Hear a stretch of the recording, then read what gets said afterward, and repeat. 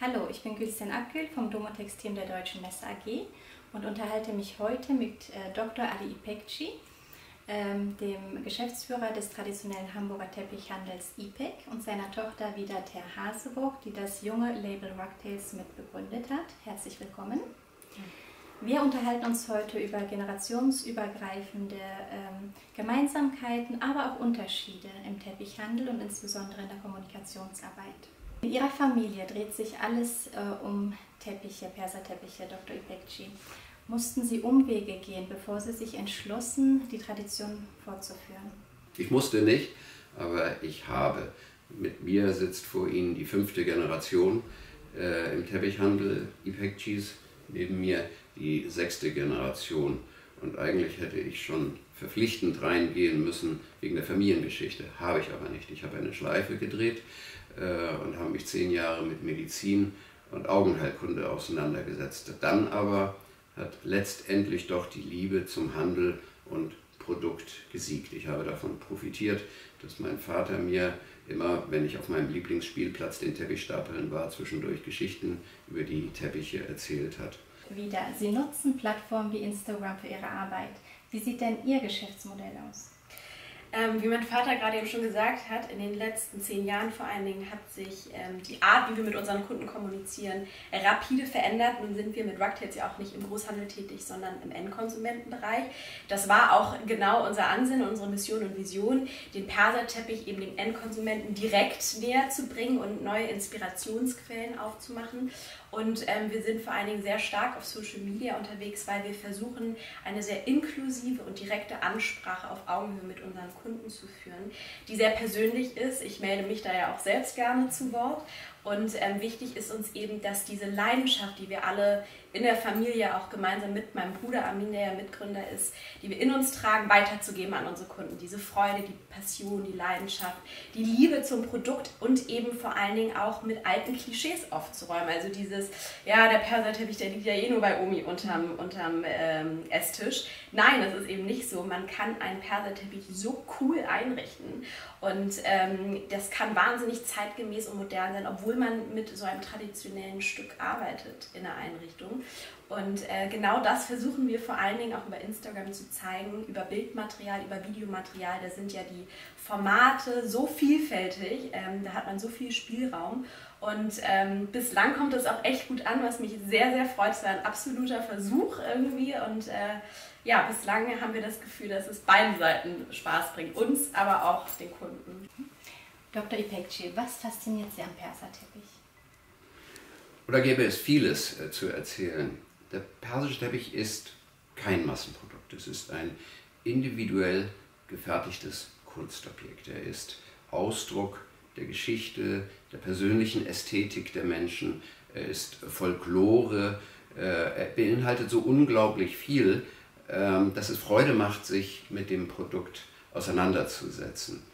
Ähm, der Teppich reflektiert eigentlich dieses gesamte Land äh, und das Denken und das Empfinden auch der Menschen. Es gibt ein wunderschönes Buch über die Teppiche im Iran, das heißt Woven with Love, mit Liebe geknüpft. Und ich glaube, das ist eigentlich der entscheidende Punkt, dass man weiß, was man eigentlich vor sich hat und worauf man rumläuft. Es ist nicht nur ein schlichter Bodenbelag.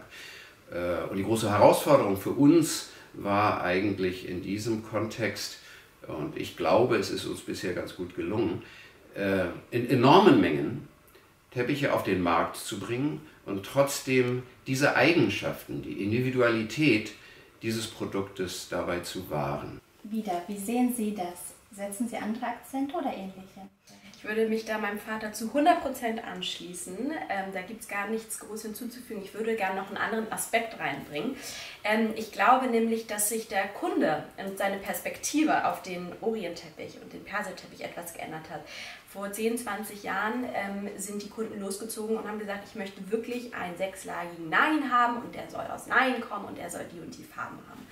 Und ähm, hat dann eben auch das entsprechende Geld dafür ausgegeben. Heutzutage merke ich, dass besonders in meiner Generation ähm, die Kunden und die Menschen, meine Freunde, nach Produkten suchen für ihre Inneneinrichtung, die eine einzigartige Geschichte erzählen und einen einzigartigen Look repräsentieren, dieses Folklorige haben, dieses Storytelling. Und ähm, genau das gibt ihnen ein handgeknüpfter Teppich, das gibt ihnen der handgeknüpfte Perserteppich. Jetzt wissen Sie, warum ich so gern mit meiner Tochter zusammenarbeite, wenn man hört, mit wie viel Herzblut sie eigentlich bei der Sache ist.